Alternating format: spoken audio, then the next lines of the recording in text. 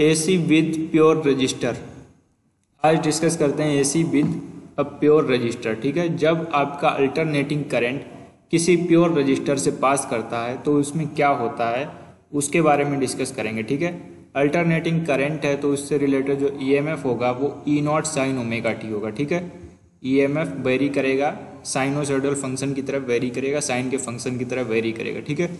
तो E equal to E naught sine omega T है तो I equal to E upon R होता है, ये फार्मूला आपको पता ही है तो E naught upon R sine omega T ये आपका ई एम एफ़ हो जाएगा, ठीक है? करंट हो जाएगा, ठीक है? तो अब करंट है I naught sine omega T तो जो आपके यहाँ पर बाहर जो लिखा है आई नॉट की अगर हम रिप्लेस करें, दोनों को कंपेयर करें तो E naught upon R equal to I naught हो जाएगा, ठीक है? आई नॉट यानी कि जो मैक्सिमम वैल्यू ऑफ़ करंट है, वो ई नॉट अपॉन आर के बराबर है। तो आर क्या हो गया? E naught upon I naught हो गया, ठीक है? E M F and currents are in same phase यहाँ पर जो आपका ई एम एफ़ और करंट है सेम फ़ेज़ में है फ़ेज़ क्या होता है? जैसे साइन है साइन के पीछे ओमेगा टी लिखा है, ठीक है?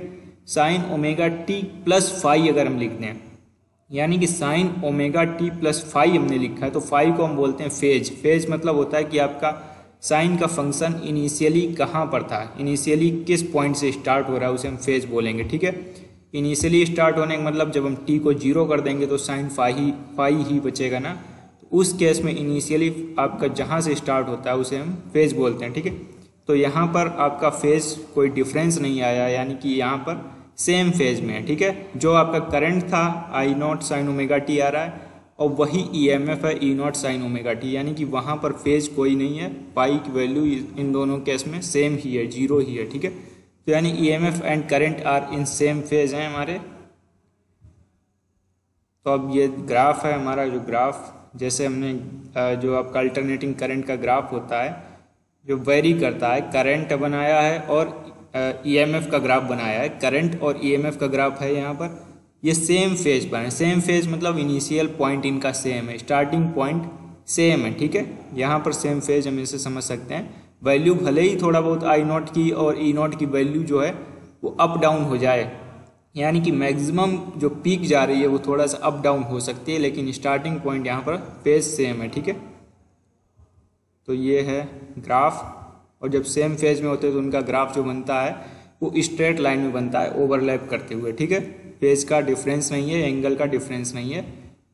ये चीज़ क्लियर हुई होगी आई थिंक सबको। अब बात करते हैं। AC circuit be the pure inductor जब हमारा जो करंट है, वो प्योर इंडक्टर से पास होता है, तब क्या होता है, देखो। इंडक्टर जैसे ये कॉइल बनी है इंडक्टर की। E equal to E naught sine omega T ठीक है? E equal to E naught sine omega T हमने ई एम एफ़ लिखा है। Induced E M F in inductor क्या होता है? Minus L D I upon D T होता है। ये हमने जब इंडक्टेंस पढ़ रहे थे, उसी केस में पढ़ाया था। सेल्फ इंडक्टेंस और म्यूचुअल इंडक्टेंस वाले चैप्टर में कि जो induced E M F in inductor है, वो minus L D I upon D T है, ठीक है? In order to maintain the flow of current the applied E M F must be equal and opposite to the induced E M F अब applied EMF और induced EMF equal होंगे, लेकिन opposite होंगे। कैसे equal opposite होंगे? अब जैसे मान लो आपका अप्लाइड ईएमएफ ई है, ठीक है? और इंडक्टर में भी आपका कुछ ईएमएफ है minus L D I upon D T अगर हम क्रिचॉफ सलाह लगाएँगे तो दोनों ईएमएफ को ऐड करेंगे और ज़ीरो के इक्वल कर देंगे ईएमएफ को, ठीक है? और जब हम ज़ीरो के इक्वल करेंगे, तब जो लेफ़्ट हैंड साइड में जो minus L D I upon D T था, जब राइट हैंड साइड में जाएगा तो L D I upon D T हो जाएगा, ठीक है? E equal to L D I upon D T आ जाएगा, यानी कि जो आपका इंडक्टेंस है, वो आपका जो अप्लाइड ई एम एफ़ है, उसके बराबर हो जाएगा, ठीक है? तो E naught sine omega T यहाँ पर लिखा है equal to L D I upon D T लिखा है, ठीक है? अब यहाँ पर देखो डी आई वाले टर्म को हम एक साइड ले आए और बाद बाकी टर्म को एक साइड ले गए, ठीक है? डी आई वाले टर्म को लिखा हमने E naught upon L sine omega T D T ठीक है? अब इनको इंटीग्रेट करना है। इंटीग्रेट करेंगे हम तो ई नॉट अपॉन एल लिख दिया sine omega T D T लिख दिया, ठीक है? अब इंटीग्रेट करोगे तो साइन ओमेगा टी को जब हम इंटीग्रेट करेंगे तो minus cos omega T upon omega आता है, ठीक है? तो अपॉन ओमेगा था, उसे हमने बाहर निकाल लिया और कॉस ओमेगा टी को वहीं लिख दिया माइनस कॉस ओमेगा टी वहीं लिख दिया, ठीक है? अब माइनस कॉस ओमेगा टी को जब हम साइन के फॉर्म में चेंज करेंगे ये माइनस कॉस ओमेगा टी है। अब इसको हम साइन के फ़ंक्शन में ला रहे हैं, ठीक है? तो साइन के फ़ंक्शन में लाएँगे तो माइनस कॉस ओमेगा टी को हम लिख सकते हैं। Sine omega T minus pi by two ठीक है? और जो E naught upon omega L था, उसे हमने आई नॉट से रिप्रेजेंट किया, ठीक है? अब यहाँ पर एक चीज़ और इंपॉर्टेंट है। जो आपका ओमेगा एल है, उसकी यूनिट होती है रजिस्टेंस की यूनिट के बराबर, ठीक है? ओमेगा एल की यूनिट होती है रजिस्टेंस की यूनिट के बराबर। तो X L equal to omega L यहाँ पर है। एक्स एल को हम बोलते हैं इंडक्टिव रिएक्टेंस ठीक है? यानी कि एक प्रकार का ये रजिस्टेंस है। इंडक्टर में जो ऑफ़र रजिस्टेंस ऑफ़र होता है, जब AC sir AC current flow कराते हैं तो उसको हम बोलते हैं इंडक्टिव रिएक्टेंस और इसे रिप्रेजेंट करते हैं एक्स एल से, और एक्स एल इक्वल टू होता है ओमेगा एल ठीक है? एक्स एल होता है ओमेगा एल के बराबर। यानी कि E naught upon omega L यहाँ पर जो लिखा है ई e नॉट की यूनिट तो अपनी जो वोल्ट है वही वाली है और ओमेगा एल की कंबाइंड यूनिट है रजिस्टेंस की यूनिट के बराबर, ठीक है? इसीलिए E naught upon omega L को हमने आई नॉट से रिप्रेजेंट किया। आई नॉट मतलब मैक्सिमम वैल्यू ऑफ़ करेंट ठीक है?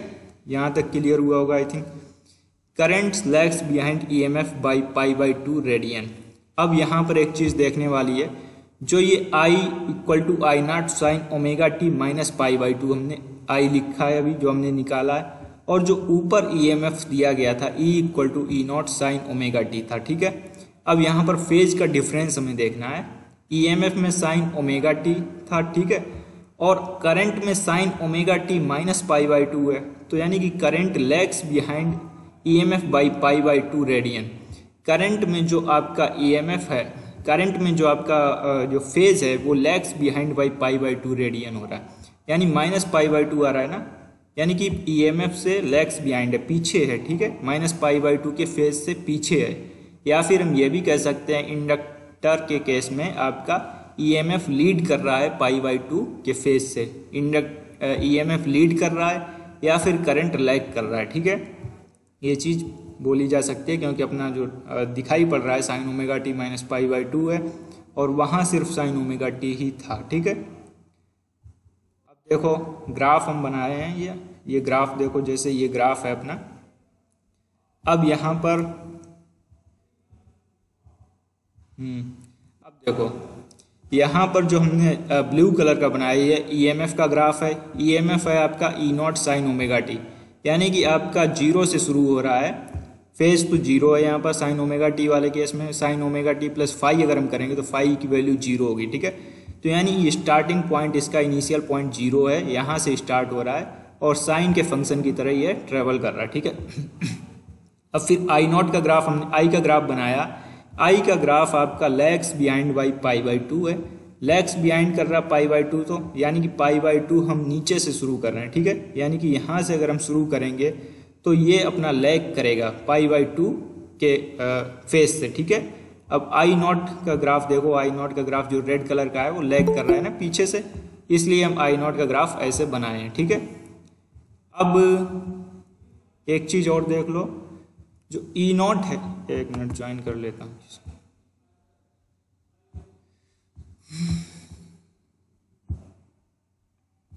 Deep Deep Pandya. Deep yes sir good morning sir आज जल्दी नहीं आ गए क्लास में कुछ? हम्म? सर लेट उठे। लेट उठे हो ना तो जल्दी उठा करो।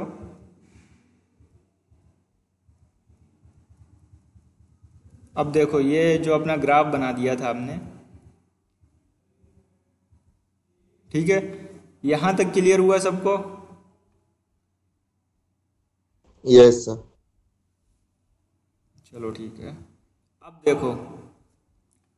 अब आपका ये देखना है कि आपका ईएमएफ e लीड कर रहा है पाई बाई टू से, ठीक है? या फिर करंट लैग कर रहा है पाई बाई टू के फेस से, ठीक है? तो ई एम एफ़ आपका जो आपका ओमेगा टी है, वो तो हमने बना ही दिया है। अब पाई बाई टू से लैग कर रहा है करंट तो करंट का जो ग्राफ बनेगा वो ई एम एफ़ से पाई बाई टू के एंगल से डाउनवर्ड साइड में बनेगा, ठीक है? ई एम एफ़ से करंट लैग कर रहा है पाई बाई टू से तो उसका ग्राफ हमने डाउनवर्ड साइड में रिप्रेजेंट किया, ठीक है? ऐसे ये हम इंडक्टर वाले केस को समझ सकते हैं। अब बात आती है AC circuit with a capacitor यानी कि कैपेसिटर के साथ साथ क्या इसके रिस्पॉन्सेज हो सकते हैं, वो समझते हैं। कैपेसिटर को हमने कनेक्ट किया है एसी सर्किट में, जैसे कि दिखाई पड़ रहा है, इसमें ईएमएफ लिया E naught sine omega T अब कैपेसिटर में जो चार्ज स्टोर होता है वो Q equal to C E होता है। सी कैपेसिटेंस है E ई एम एफ़ है आपका।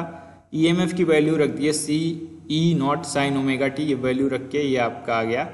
अब हमें करंट फाइंड आउट करना है। करंट का फार्मूला तो D Q upon D T होता है, सबको पता है। अब इसको इंटीग्रेट कर देंगे जो आपका Q equal to C E naught sine omega T था। तो सॉरी इसको डिफ्रेंशिएट कर देंगे विद रिस्पेक्ट टू टी अब इसको डिफ्रेंशिएट करेंगे तो D upon D T C E naught sine omega T लिख सकते हैं हम, ठीक है?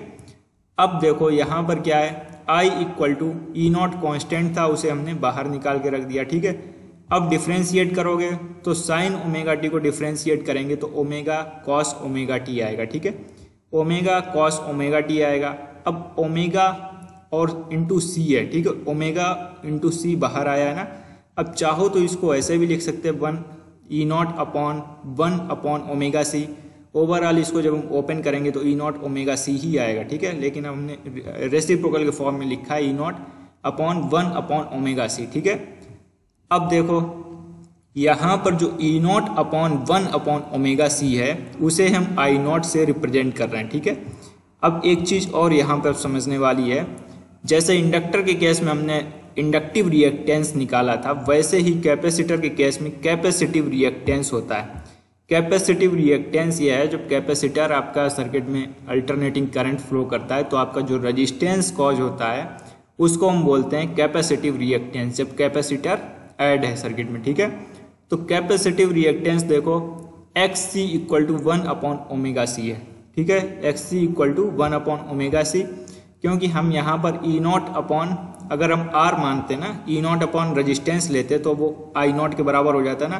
तो यानी कि वन अपॉन ओमेगा सी की जो यूनिट है, वो रजिस्टेंस की यूनिट के बराबर है, यानी कि ओम के बराबर है, ठीक है?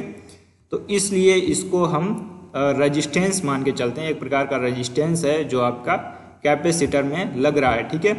X equal to one upon omega C लिखा है तो ये इक्वल है E naught upon I naught के। और एक्ससी को बोलते हैं हम capacitive reactance its unit is ohm ठीक है? अब इनमें देखना क्या है? अब ई नॉट था जो, वो ई ई जो था E naught sine omega T था, ठीक है? फिर आई निकल के आया I naught sine omega T plus pi by two यानी यहाँ पर अब देखोगे आप तो जो करंट है current leads E M F by pi by two radian current आपका लीड कर रहा है ई एम एफ़ से पाई बाई टू रेडियन से, ठीक है? करंट लीड कर रहा है साफ़ साफ़ दिखाई पड़ रहा है। Omega T plus pi by two है। प्लस पाई बाई टू का मतलब है करंट आपका लीड कर रहा है ई एम एफ़ से पाई बाई टू रेडियन से, ठीक है? या फिर हम बोल सकते हैं कि जो आपका ई एम एफ़ है, वो लैग कर रहा है करंट से पाई बाई टू रेडियन से, ठीक है? लैग कर रहा है ई एम एफ़ को बोल सकते हैं और करंट को हम लीड कर रहा बोल सकते हैं, ठीक है? ये चीज़ क्लियर हुई होगी आई थिंक सबको? अब यहाँ पर ग्राफ है, ग्राफ देखते हैं। जैसे ये ग्राफ है अपना। E equal to E naught sine omega T है, जो ब्लू वाली लाइन है, वो अपना ई e नॉट मतलब ई एम एफ़ को रिप्रेजेंट कर रही है, और जो रेड वाला है, वो आपका करंट को रिप्रेजेंट कर रहा है, ठीक है? अब यहाँ पर देखो E equal to E naught sine omega T था, यानी कि ई एम एफ़ में कोई फ़ेज़ नहीं था तो इन हमने यहाँ पर स्टार्टिंग पॉइंट यहाँ ज़ीरो से स्टार्ट किया है, और आपका ई एम एफ़ ट्रेवल कर रहा है साइन के फ़ंक्शन की तरह, ठीक है? अब यहाँ पर देखो करंट आपका लीड कर रहा है पाई बाई टू रेडियन से फ़ेज़ इसका पाई बाई टू ज़्यादा है इन कंपेरिजन टू ईएमएफ के। ईएमएफ से पाई बाई टू फ़ेज़ ज़्यादा है इसका, ठीक है? तो पाई बाई टू ज़्यादा है तो हम स्टार्ट करेंगे यहाँ से, ठीक है?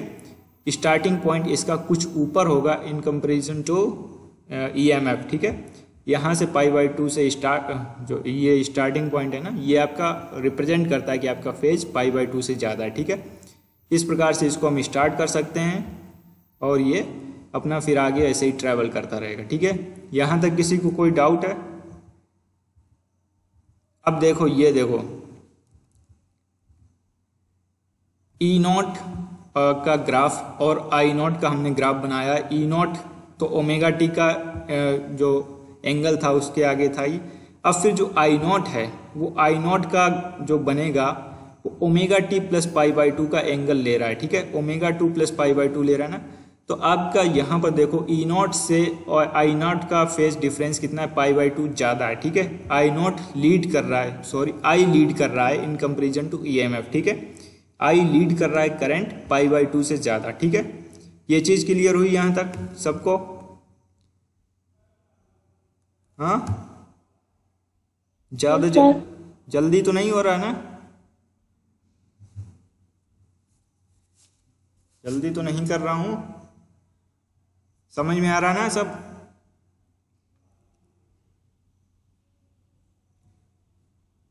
रिस्पॉन्स नहीं देते हो आप लोग।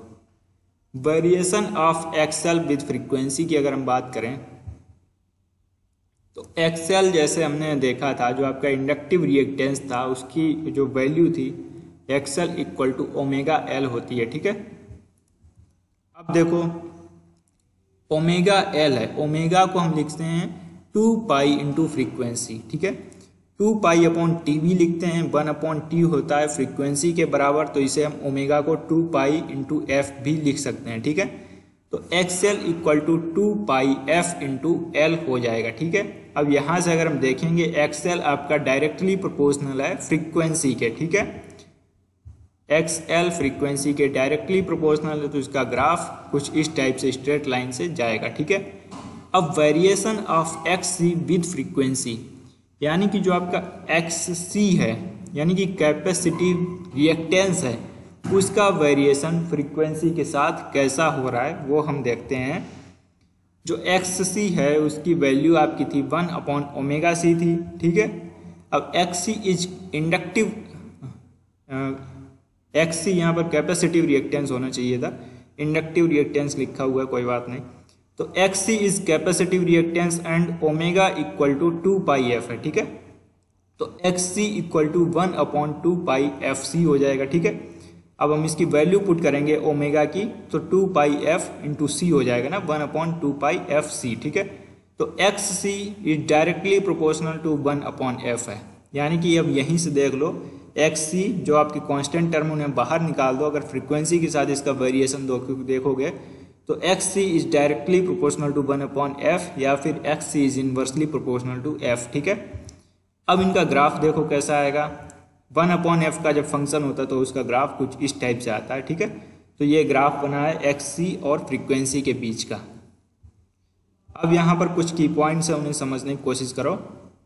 Inductance L can not decrease direct current it can only decrease alternating current अब डायरेक्ट करंट की केस में बात की गई इंडक्टेंस की। जब डायरेक्ट करंट होता है तो उस केस में क्या होती है, उसकी डायरेक्ट करंट की फ्रीक्वेंसी होती है ज़ीरो कल हमने वीडियो में भी ये बताया था कि डायरेक्ट करंट की जो हमारी फ्रीक्वेंसी होती है ज़ीरो तो उस केस में जो आपका इंडक्टिव रिएक्टेंस होगा, यानी कि जो आपका रजिस्टेंस कॉज करेगा इंडक्टर वो आपका रजिस्टेंस ज़ीरो कॉज करेगा, ठीक है? यानी कि कोई रजिस्टेंस जब हमारा इंडक्टर कॉज नहीं कर रहा है डायरेक्ट करंट के केस में तो उस केस में आपका डायरेक्ट करंट बिना किसी रुकावट के इंडक्टर से फ्लो होता चला जाएगा, ठीक है? क्योंकि आपका जो आप जो अल्टरनेटिंग करंट है, वहाँ पर आपकी फ्रीक्वेंसी होती है कुछ ना कुछ। और फ्रीक्वेंसी होएगी तो आपका फ्रीक्वेंसी के डायरेक्टली प्रोपोर्शनल है एक्स एल यानी कि इंडक्टिव रिएक्टेंस फ्रीक्वेंसी की डायरेक्टली प्रोपोर्शनल है। तो उस केस में हमारा रजिस्टेंस यानी कि इंडक्टिव रिएक्टेंस पिक्चर में आएगा और वो अपोज करेगा करंट के फ्लो का, ठीक है? ये चीज़ क्लियर हुई? दोबारा बताते हैं कि आपका, जो आपका डायरेक्ट करंट है, उसकी फ्रीक्वेंसी है ज़ीरो डायरेक्ट करंट की फ्रीक्वेंसी है ज़ीरो तो यानी कि एक्स एल हमें पता है कि फ्रीक्वेंसी पर डिपेंड कर रहा है डायरेक्टली प्रोपोर्शनल फ्रीक्वेंसी के। अब जब फ्रीक्वेंसी ही नहीं है तो इंडक्टिव रिएक्टेंस कहाँ से आएगा? जब इंडक्टिव रिएक्टेंस नहीं होगा, अगर इंडक्टिव रिएक्टेंस का मतलब है इंडक्टर के द्वारा जो रुकावट पैदा की गई है करंट के फ्लो में वो ही कोई रुकावट नहीं होगी तो आपका करंट डायरेक्टली फ्लो करता चला जाएगा बिना रुकावट के, ठीक है? अब सेकेंड पॉइंट कह रहा है आपका capacitance C allows AC to flow through it but blocks DC अब डीसी को कैपेसिटर ब्लॉक कर रहा है डीसी को फ्लो नहीं होने दे रहा है। क्यों नहीं होने दे रहा है? अब यहाँ पर देखो डीसी में फ्रीक्वेंसी है अपनी ज़ीरो ठीक है? फ्रीक्वेंसी अगर ज़ीरो है, यानी कि X C is directly proportional to one upon F है वन अपॉन ज़ीरो अगर होता है वन अपॉन ज़ीरो की वैल्यू इनफाइनाइट होती है, ठीक है? इनफाइनाइट मान के चलते हैं अनडिफाइंड मान के चलते हैं, ठीक है? तो यानी कि जो आपका एक्स सी है, उसकी वैल्यू बहुत ज़्यादा हो जाएगी। किस केस में? जब आपका डायरेक्ट करंट हम लाएँगे, ठीक है? डायरेक्ट करंट ला रहा है, यानी कि उसमें फ्रीक्वेंसी ज़ीरो है। अब फ्रीक्वेंसी जब ज़ीरो है तो आपका कैपेसिटिव रिएक्टेंस बहुत ज़्यादा हो जाएगा, बहुत मैक्सिमम हो जाएगा। जैसा कि ग्राफ में भी देख रहे हो, जैसे जैसे फ्रीक्वेंसी ज़ीरो की तरफ़ अप्रोच कर रही है एफ़ ज़ीरो की तरफ़ अप्रोच कर रहा है ना तो आपका ग्राफ देखो कितना एक्सपोनेंशियली इंक्रीज करता चला जा रहा है। और किसी एक पॉइंट पर ये इंक्रीज ही करता चला जाएगा इंक्रीज करता ही चला जाएगा। यानी कि डायरेक्ट करंट के केस में आपका ये जो एक्स सी होगी, उसकी वैल्यू इनफाइनाइट तक अप्रोच करती चली जाएगी, ठीक है? और इनफाइनाइट तक अप्रोच करने का मतलब है आपका रजिस्टेंस इनफाइनाइट तक अप्रोच कर रहा है। जब रेजिस्टेंस बहुत ज़्यादा होगा तो ऑब्वियस सी बात है करंट वहाँ से फ्लो नहीं कर पाएगा और डीसी वाले केस में बोल देंगे कि ये करंट को रोक रहा है रुकावट पैदा कर रहा है। ठीक है? यहाँ तक क्लियर हुआ सबको? नेक्स्ट क्लास में अपने सर हाँ। नेक्स्ट क्लास में एलसीआर सर्किट के ऊपर डिस्कस करेंगे। ये टॉपिक थोड़ा सा बड़ा है इसलिए अगली क्लास में इसको शुरू करते हैं। अगर किसी को कोई डाउट है अभी तक पूछो जो जो हमने पढ़ाया आज तक अभी। सर अपना टेस्ट है ना वो फिजिक्स का कल? हाँ हाँ बिल्कुल टेस्ट है।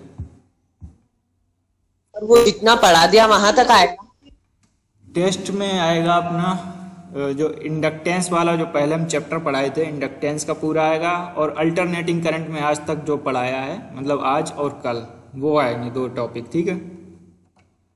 कोई दिक्कत किसी को? अल्टरनेटिंग करंट में जो हमने कल पढ़ाया और आज पढ़ाया और इंडक्ट इंडक्टेंस में जो हमने वो इलेक्ट्रोमैग्नेटिक इंडक्टेंस वाला जो टॉपिक पढ़ाया था, वो आएगा, ठीक है? दो ही आएँगे। वैसे भी इलेक्ट्रोमैग्नेटिक का आप दे चुके हो, उसको एक बार रिवाइज और करना पड़ेगा बस। एक बार तो पढ़े ही हो गए टेस्ट के लिए पढ़ते तो हो ना? यस सर ये ऐसे ही सो के उठे टेस्ट दे दिया क्लिक क्लिक। तुक्का लगा दिए हैं। वो तो नहीं करते हो ना? नो सर हम्म।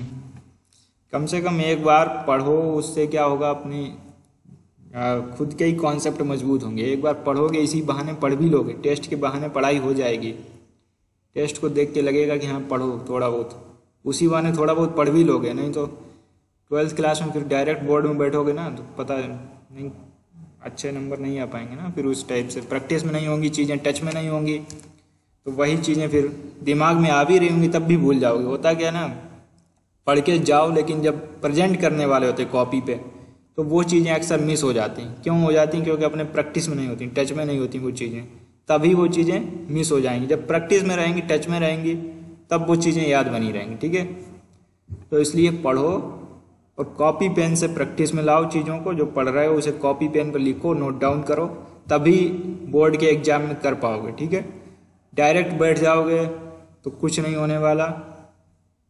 इसलिए प्रैक्टिस करनी है नोट्स बनाने को इसीलिए बोलता हूँ। नोट्स बनाओगे, कम से कम उस बहाने लिखोगे, तब भी थोड़ा बहुत। हम्म? नोट्स तो बना रहे हो ना सब? यस सर शिवानी कुश्तावर नोट्स बना रही हो? यस सर बना रही हूँ। आज का ही करना है और कल का। ये- एक मिनट। जानसी गोस्वामी है यहाँ पे? जानसी?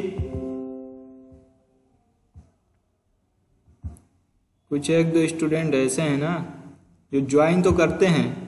ज्वाइन करने के बाद मोबाइल को रख के कहीं दूसरी दुनिया में खो जाते हैं। उन्हें यह भी नहीं पता रहता क्या चल रहा क्या नहीं चल रहा। ज्वाइन करके मोबाइल खोल के रख देंगे फॉर्मेलिटी के लिए। तो ये भी गलत है ना जब पढ़ाया जा रहा है तो पढ़ो अपना ठीक है? सब पता चल जाता है क्या कर रहे हो। तो नाम लिख दिए जो जो प्रेजेंट है यहाँ पे। यस yes, सर चलो ठीक है फिर अब एग्जिट हो जाओ अपनी दूसरी क्लास में जाओ ठीक है? Thank you sir